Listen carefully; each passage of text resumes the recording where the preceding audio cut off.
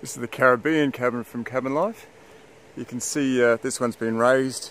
It's raised off the back there. We've used some big concrete blocks to support up the front and the front of the roadway here.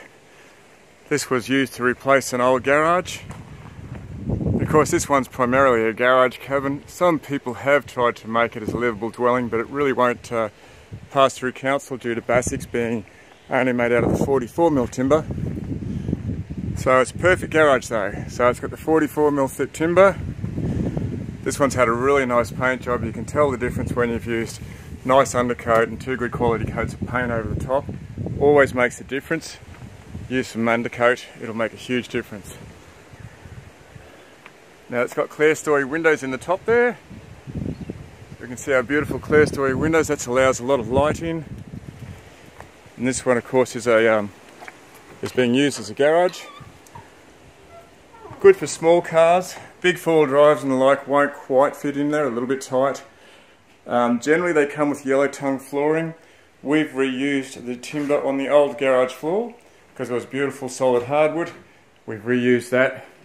And of course uh, we've got a heap of stuff in here. You see through the middle we've got this nice support beam. Goes through the middle there and we've got our nice light from our clerestory windows coming through. We've got these beams Plenty of beams going right through. The light's temporary at the moment, that's just set up off a little uh, EcoBlock solar system.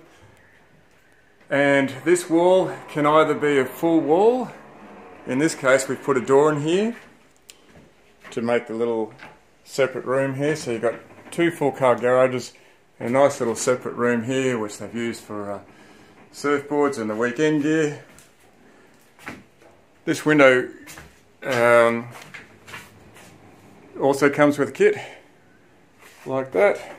Beautiful double glazed again, like all of our windows, double glazed, dual action opening, and has the rubber seal on it.